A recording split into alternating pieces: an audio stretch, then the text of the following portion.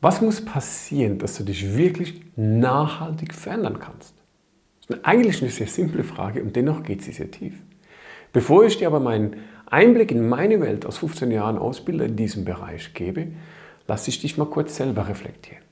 Weil, wenn du heute einmal zurückschaust auf dein Leben, da gab es bestimmte Momente, die haben dich nachhaltig geprägt, die haben dich nachhaltig verändert.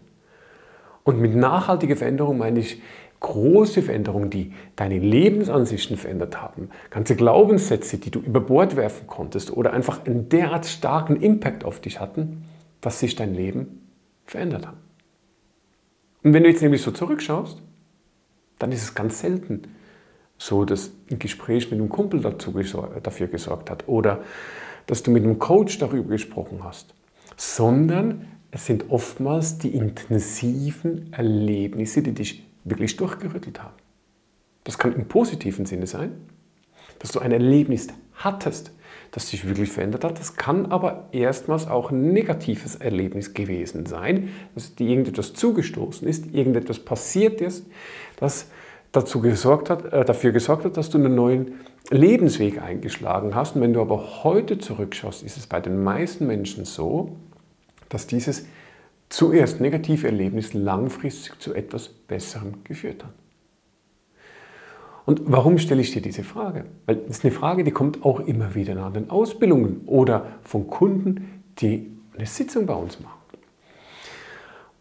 Weil, weißt du, sobald du Veränderung willst, dann musst du da angreifen, dahin kommen, wo du weißt, dass es wirklich etwas bewegt. Es sei denn, du suchst einfach jemanden, der dir ein bisschen Ratschläge gibt.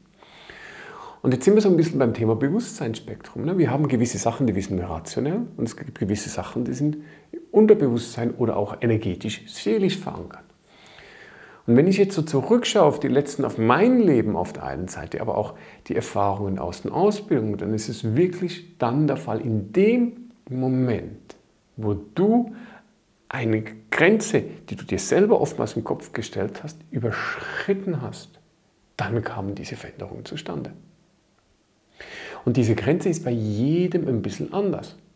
Beim einen ist sie schon relativ weit vorne, das heißt, es braucht gar nicht viel und da öffnen sich schon Pforten. Bei den nächsten braucht es relativ viel, bis hin zu holotropen Atemsitzungen oder was auch immer für Techniken, Regressionsarbeit in der Hypnose und und und. Also die Frage, die du dir stellen willst.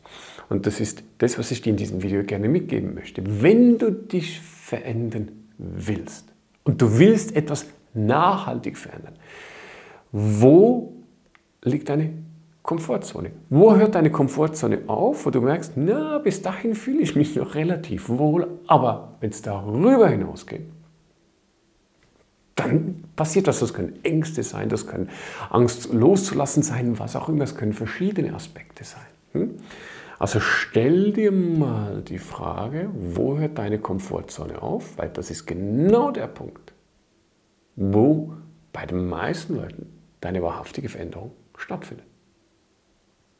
Und genau da solltest du anfangen zu arbeiten, wenn du dich wirklich verändern willst. Und wie du das auch lernen kannst oder wenn du dich selber oder lernen willst, wie du andere Menschen weiterbringen kannst und an diese Komfortzone bringen kannst und darüber hinaus, dann schau dir doch mal unsere Ausbildungen an. Sei es zum spirituellen Mentor Mind Spirit oder in Hypnosetherapie unter Mind Venture, weil da lernst du genau das, wie kannst du diesen Punkt der Menschen überschreiten, damit du sie wirklich nachhaltig verändern kannst.